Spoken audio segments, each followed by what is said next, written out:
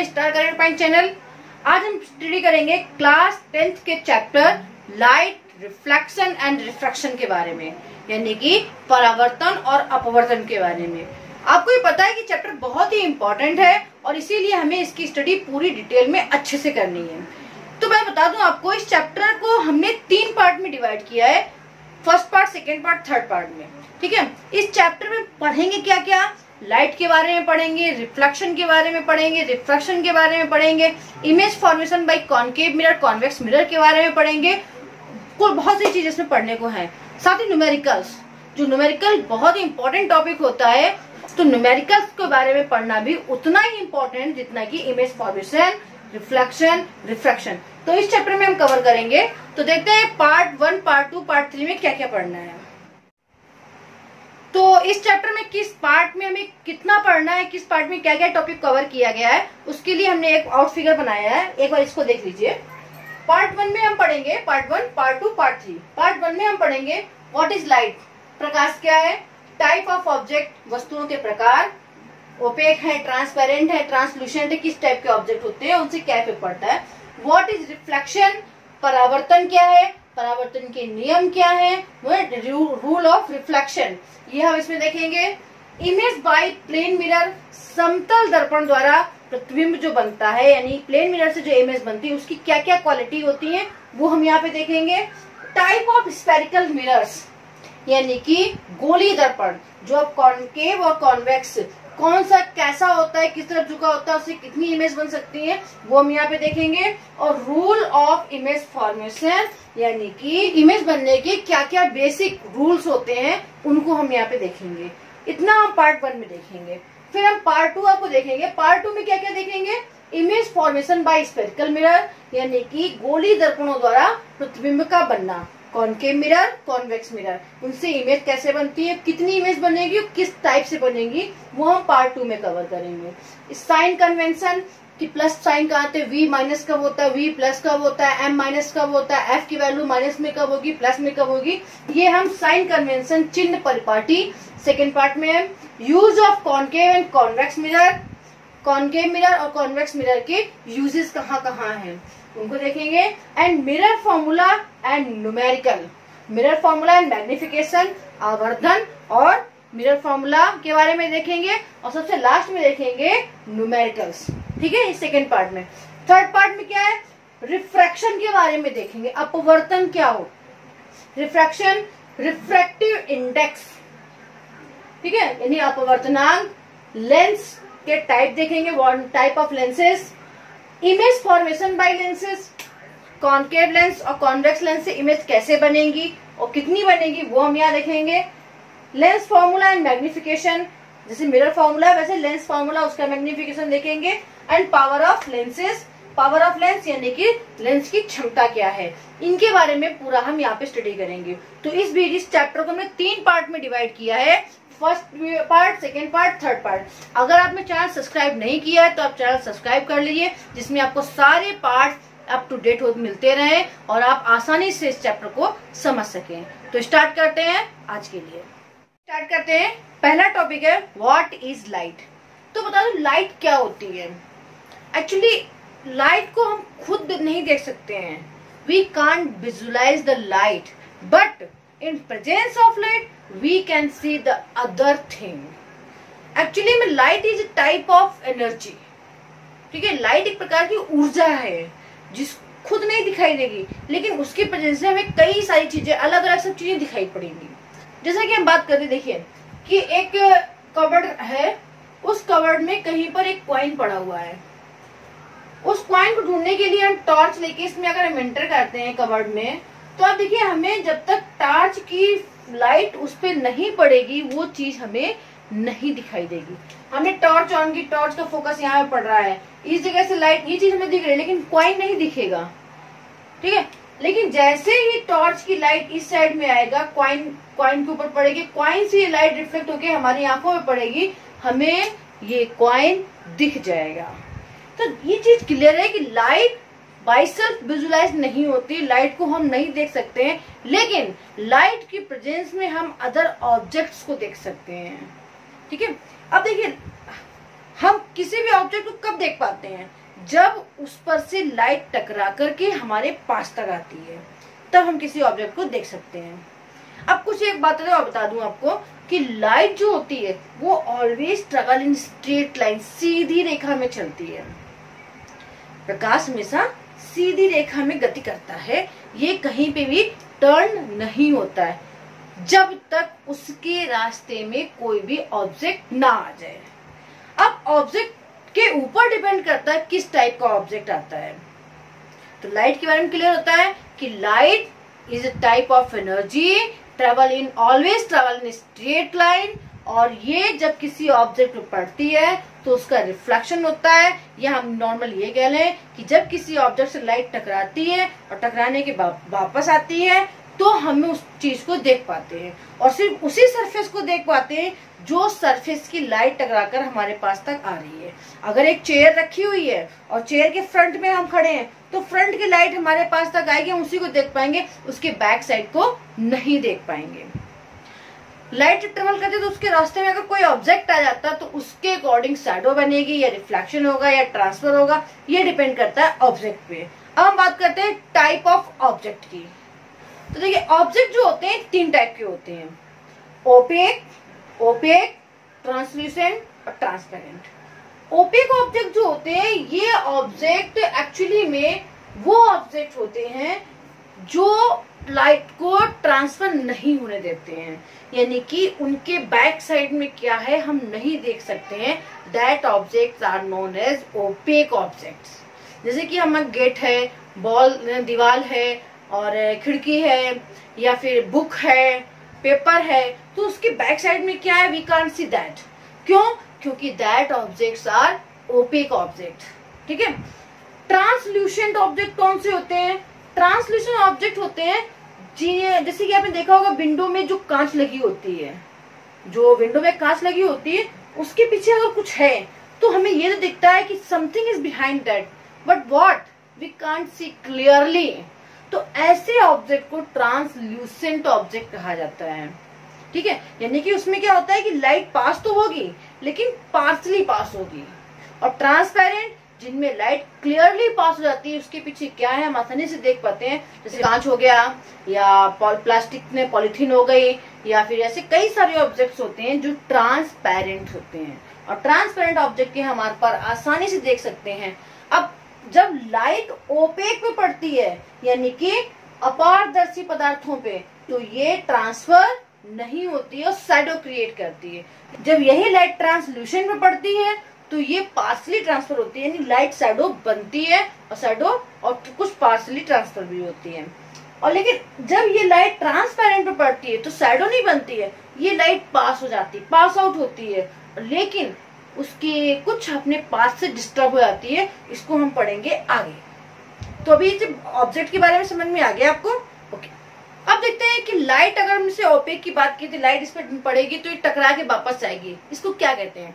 That is reflection तो देखिए, हम इसको कुछ, एक रूल्स के अकॉर्डिंग समझते हैं। जैसे कि एक प्लेन ऑब्जेक्ट है कोई। इस पे रे ऑफ़ लाइट आती है। ठीक है? अब ये ओपेक ऑब्जेक्ट है, यहाँ से लाइट पास नहीं होगी तो कहा जाएगी?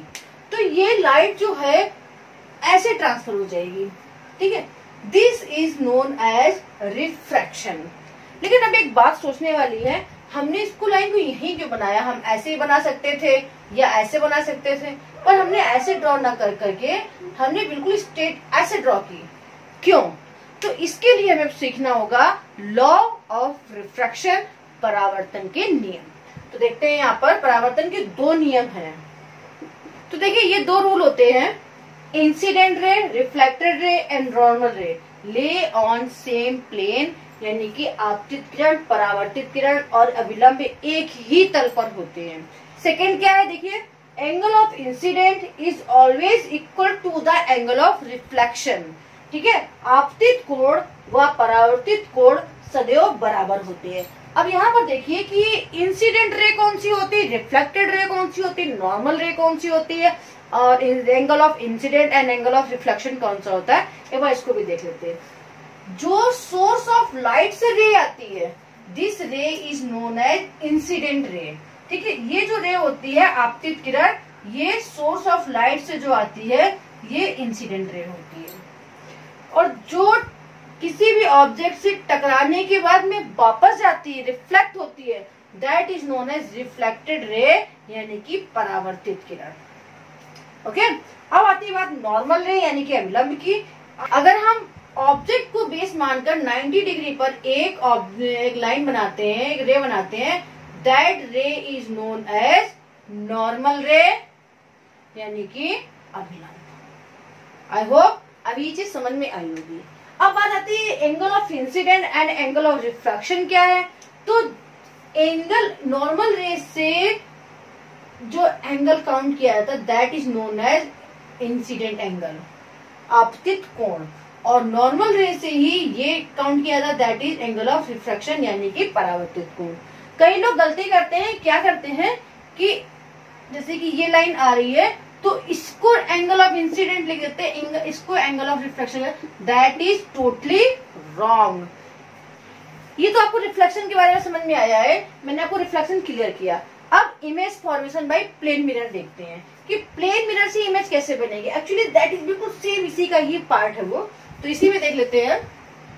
देखिए, जैसे ये प्लेन मिरर है और कोई भी ऑब्जेक्ट यहाँ पर है तो वो एज इट इज़ दिखाई पड़ेगा प्लेन मिरर में। देखिए, प्लेन मिरर में क्या होता है कि जब कोई ऑब्जेक्ट प्लेन मिरर में दिखता है तो वो वर्चुअल दिखता है, यानी कि आभासी। अब रियल और वर्चुअल क्या होता है, इसको भी बता देते हैं आपको। रियल ऑब्जेक्ट रियल इमेज वो होती है जिसको हम किसी स्क्रीन पे बना सकते हैं। लेकिन वर्चुअल इमेज वो होती है जिसको हम देख तो सकते हैं, लेकिन किसी स्क्रीन पर उतार नहीं सकते हैं। जैसे कि हम जब तक शीशे के सामने खड़े हुए तब तक तो हमारी इमेज दिखेगी, लेकिन शीशे के पास से हटे इमेज गायब हो जाएगी। या हम ये सोचें कि ये जो शीशे में जो हमें इमेज दिख रही है मिरर में जो इमेज दिख रही है, ये किसी स्क्रीन पर बना के हम किसी और को दिखा लें? नहीं, वो हम ही देख सकते हैं। ठीक है? तो ये जो होती है वर्चुअल इमेज कही जाती है। अब बात करते हैं कि प्लेन मिरर में इमेज कैसी बनती है। तो प्लेन मिरर है, क्योंकि बिल्कुल सीधा है, ये कहीं से भी स्पेरिकल नहीं होता है तो बिल्कुल सेम साइज़ इमेज बनती है। ठीक है? सेम साइज़ बनती है सेम डिस्टेंस पे बनती है, और इरेक्ट बनती है। वर्चुअल इमेज हमेशा इरेक्ट बनती है। सेम साइज़ सेम डिस्टेंस पे इरेक्ट बनती है। लेकिन, ये पार्सली इन्वर्टेड होती है। कैसे? इसका लेफ़्ट पोजीशन जो होती है, वो हमें इधर राइट पोजीशन में दिखती है। एक यही डिफरेंस आता है प्लेन प्लेन मिरर से जो इमेज बनती है, उसमें यही चेंज होता है कि राइट को लेफ़्ट लेफ़्ट का राइट दिखता है बात की सेम टू सेम इमेज बनती है। हम जितनी डिस्टेंस पे मिरर से खड़े होंगे, उतनी ही डिस्टेंस पे हमारी इमेज दिखाई पड़ेगी। आई होप आपको एक क्लियर समझ में आया है। अब बात करते हैं स्फेरिकल मिरर की। स्फेरिकल मिरर को हिंदी में कहते हैं गोलीय दर्पण। अब गोली दर्पण में देखिए दो टाइप के आते हैं, ऐसे या फिर ऐसे। सबसे पहले तो मैं एक चीज़ यहाँ बता दू आपको स्फेरिकल का मतलब होता है कि किसी न किसी कांच के गोले से इसको काटा जाए। जैसे ये ऐसे होता है, ठीक है? इस टाइप से होता है। इसको कट करके, इतना ये कट कर दिया तो ये जो मिरर बनता है, ये जो राउंड से बसता है, इसको स्पेरिकल मिरर कहते हैं। अब इस साइड अगर पॉलिश कर दी जाए मिरर में एक साइड पॉलिश होती है, और ये साइड हम देखने के लिए यूज़ करें तो ये हो जाता है, इस टाइप से दबा हुआ पार्ट हो गया इसको कहते हैं कॉनकेव। मिरर ठीक है? यानी कि अवतल दर्पण।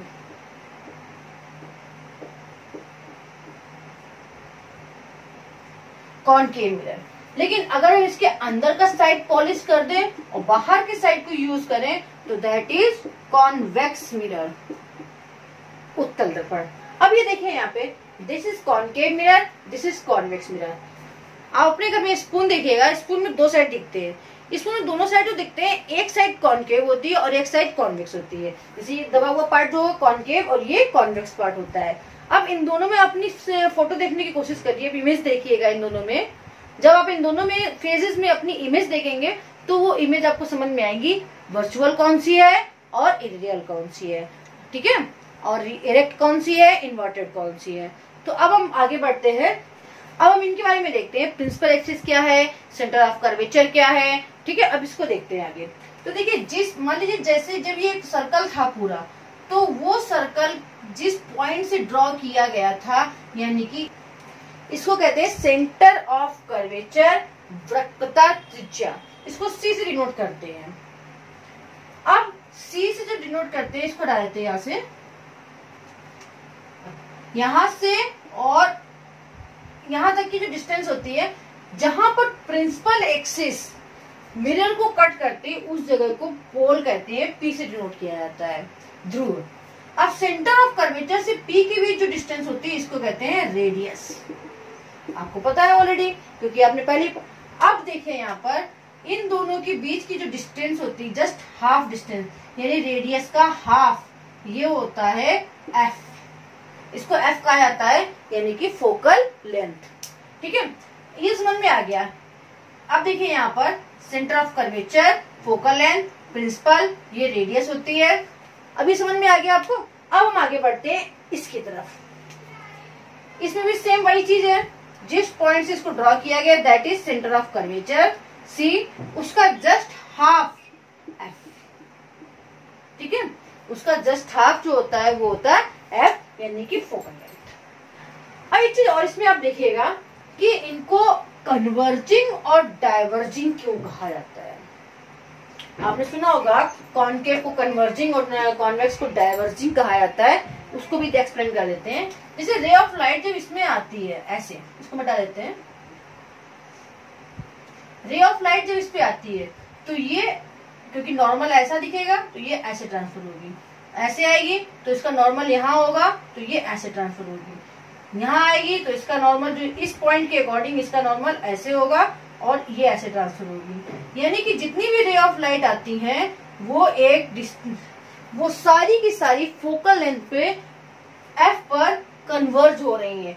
एक जगह इकट्ठी हो रही है। That's why it is known as converging mirror यानी कि अभिसारी दर्पण। अब हम कॉन्वेक्स के केस में देखते हैं तो यहाँ पर ये क्या होता है, क्योंकि ये मिरर से पीछे है बिहाइंड द मिरर है।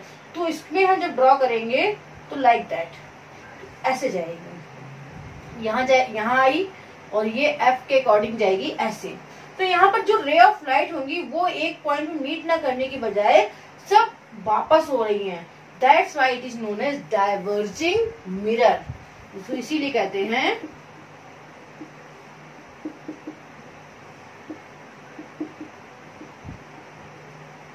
डाइवर्जिंग मिरर यानी कि अपसारी दर्पण।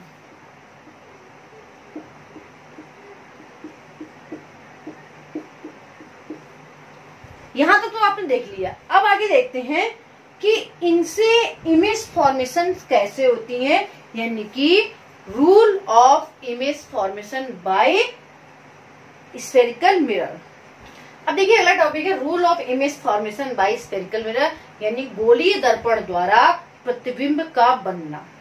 अब देखिए सबसे पहले हम बात करते हैं रूल्स की। अब देखिए पहला टॉपिक ये है when ray of light comes parallel to principal axis जब प्रकाश की किरण मुख्य अक्ष के समांतर आती है। तो कैसे ट्रांसफ़र होगी? तो देखते हैं यहाँ पर, बना लिया मैंने। Centre of curvature focal length ray of light comes parallel to principal axis ये रूल होता है, जब ray of light principal axis की पैरेलल आती है तो ये हमेशा फोकस से ही ट्रांसफ़र होती है।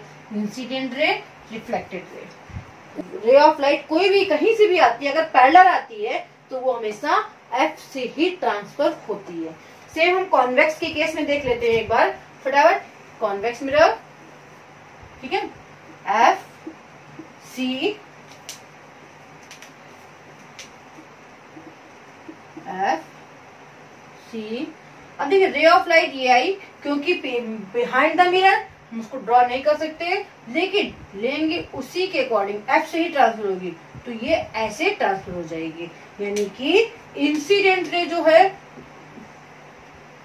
ऐसे इंसिडेंट रे ये है, और रिफ्लेक्टेड रे ये है तो पहला रूल क्लियर हुआ, when ray of light comes parallel to principal axis it transfer to from f. okay? When ray of light comes parallel to principal axis. जब प्रकाश की किरण मुख्य अक्ष के समानांतर आती है तो ये हमेशा एफ़ से गुजरती है, यानी कि this pass is always from F focus अब देखो सेकेंड रूल देखते हैं। When ray of light comes on F जब प्रकाश की किरण एफ़ पर आती है तो क्या होता है? देखिए फटाफट, पहले हम इसको ड्रॉ करेंगे। ठीक है? सी एफ़ अब हम यहाँ पे है कि रे ऑफ़ लाइट कैसे आ रही है? एफ़ पर आ रही है, इस टाइप से। ये यहाँ तक पहुंचेगी। अब यहाँ से ये पैरेलल ट्रांसफ़र होगी। देखिए ऐसे। ऐसे। तो इंसिडेंट रे ये है रिफ्लेक्टेड रे ये है। यानी कि पहला रूल और दूसरा रूल एक दूसरे के अपोजिट है। पहले रूल में हमने देखा था कि पैरेलल लाइन आती है और एफ़ से ट्रांसफ़र होती है। सेकेंड रूल में देख रहे हैं एफ़ पर आती है तो पैरेलल ट्रांसफ़र होती है। ओके कॉन्वेक्स भी बना लेते हैं। देखिए, अगर रे ऑफ़ लाइट एफ़ पर आएगी तो वो इस टाइप से पैरेलल ट्रांसफ़र होगी इंसिडेंट रिफ्लेक्टेड यानी कि देखिए, ये और ये पैरेलल आएगी तो एफ़ से ट्रांसफ़र होगी, और एफ़ पर आएगी तो पैरेलल ट्रांसफ़र होगी। ओके अब हम बढ़ते हैं थर्ड रूल की तरफ़। थर्ड रूल है when ray of light comes on C centre of curvature यानी जब प्रकाश की किरण सी पर आती है तो क्या होता है? तो देखिए, इसको पहले ड्रॉ कर लेते हैं एक बार। जैसा कि मैंने आपको पहले बताया था सी जो होता है सेंटर ऑफ़ कर्वेचर ये उस सर्कल का सेंटर होता है। यानी कि प्रिंसिपल एक्सिस जैसे जा रही है, ऐसे कोई भी लाइन कोई भी रे अगर सी से निकलती है तो just act as a principal axis बिल्कुल वैसे ही बिहेव करेगी, इसलिए उसमें कोई भी चेंज नहीं होगा। यानी कि जैसे वो इंसिडेंट होगी वैसी ही रिफ्लेक्टेड होगी नो चेंज तो ऐसे ही कॉन्वेक्स के टाइम में होगा कि जो सी पर अगर रे ऑफ़ लाइट आती है तो वो सीधी जाएगी, कोई भी चेंज नहीं होगा इंसिडेंट भी यही होगी रिफ्लेक्टेड भी यही होगी। क्योंकि C is the centre of circle जिससे ये स्पेरिकल मिरर काटा गया है, उस स्पेरिकल मिरर का सेंटर है। तो बिल्कुल जैसे प्रिंसिपल एक्सिस एक्ट कर रही है, बिल्कुल वैसे वो भी एक्ट करेगी। यानी कि नो चेंज अब बटे फोर्थ रूल की ओर। देखिए फोर्थ रूल में क्या है कि when ray of light comes on P P यानी कि पोल्स मैंने बताया था पोल पे अगर आती है तो क्या होगा? तो देखिए, यहाँ पर जब रे ऑफ़ लाइट पोल पे आएगी तो rule second rule of refraction यानी कि angle of incident is always equal to angle of refraction और ये ट्रांसफ़र होगी। तो इंसिडेंट ये रही रिफ्लेक्शन ये रहा। ठीक है सेम यहाँ पे देख लीजिए कि जब ये रे ऑफ़ लाइट पोल पे आएगी तो वही बात angle of incident should always equal to the angle of refraction यानी कि एंगल आर इसके अकॉर्डिंग ट्रांसफ़र होगी। तो आई होप आपको फोर्थ चारों रूल आपको अच्छे से समझ में आ गए होंगे। पहला rule when ray of light comes parallel to principal axis तो वो एफ़ से ट्रांसफ़र होती है। सेकेंड रूल जब एफ़ पर आती है तो वो पी से ट्रांसफ़र होता है। Third rule centre of curvature पे आता है तो कोई भी चेंज नहीं होता जस्ट इट इज़ ट्रांसफ़र होती है। कोई चेंज नहीं आता है। और फोर्थ जब पी पे आता है पोल पे आता है तो वो एंगल के अकॉर्डिंग ट्रांसफ़र होता है। Angle of incident is always equal to the angle of refraction I hope ये आपको अच्छे से समझ में आया होगा। आज के लिए सिर्फ़ इतना ही, क्योंकि मैंने आपको बताया है तीन पार्ट में मैंने इस वीडियो को ट्रांसफ़र किया है। तो फ़र्स्ट पार्ट आपका कंप्लीट होता है। अब जो सेकेंड पार्ट आपको मिलेगा, उसमें image formation by spherical mirror मिलेगा। उसी के न्यूमेरिकल्स मिलेंगे यूजेस मिलेंगे ऑल ऑफ़ दैट ठीक है? तो इस चैनल को सब्सक्राइब कर दीजिए, जिससे आपको सेकेंड वीडियो और थर्ड वीडियो टाइम से मिल जाए। ओके और अगर आपको समझ में आया है और कोई भी अगर डाउट रहता है तो आप मुझे ज़रूर बताइएगा कमेंट बॉक्स में बताइएगा।